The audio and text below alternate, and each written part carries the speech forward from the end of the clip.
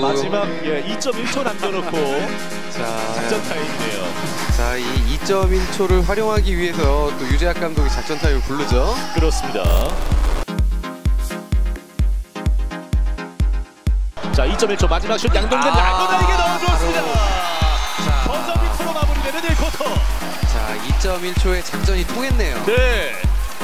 양동근이 스스로 공간을 만들고 결국은 마지막에 라건아에게 패스를 전달하면서 득점이 됐습니다.